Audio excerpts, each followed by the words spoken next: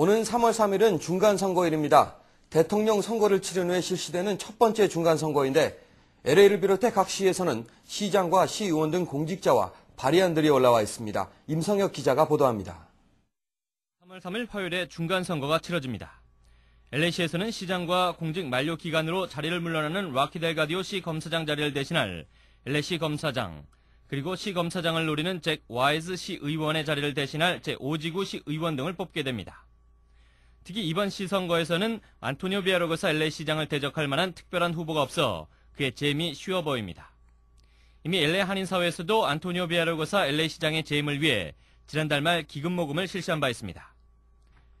LA 시장 후보로는 연예인인 필 제네잔과 골든 터너시 시 부검사, 데빗 살리버그 지역사회 옹호가 겸 경제학자와 크레이크 엑슬루빈 목사 등 현 안토니오 시장을 포함해 10명이 출마한 상태입니다.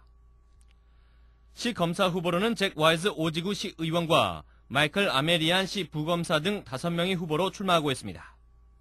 이번 선거에서는 LA 커뮤니티 칼리지의 2, 4, 6, 7지역의 이사회 이사도 선출합니다. 중간 선거에서는 시 의회에서 내놓은 5개 시 법안이 유권자들의 선택을 기다리고 있습니다. 한인들에게 주목을 끄는 발의안은 B입니다. 비번 조례안은 어, 요즘 같이 LA 공, LA시의 공해가 많이 심각한데요. 어, 이 조례안은 태양열 발전소를 LA시 각 구역에 설치해서 어, 공해를 줄이고 건강도 증진시키고 그리고 요즘같이 경제가 어려운 때 취업도 활성화시키는 그런 이제 긍정적인 면을 갖고 있습니다. 그래서 민주학께서는 우리 한인 유권자들, 이민자 커뮤니티 한인 유권자들에게 유리하다고 판단되어서 어, 찬성을 추천드리고 있습니다. 이외에도 각 시마다 시 의원들과 시장 등이 선출되며 각 시마다 발의안이 올라와 있어 관련 내용을 선거 가책자로 미리 살펴볼 수 있습니다. 3일 중간선거의 유권자 등록은 마감됐습니다. 그러나 우편 투표를 원하는 유권자들은 다음 주 화요일까지 한 표 행사를 할 수 있습니다. TVK 뉴스 임성혁입니다.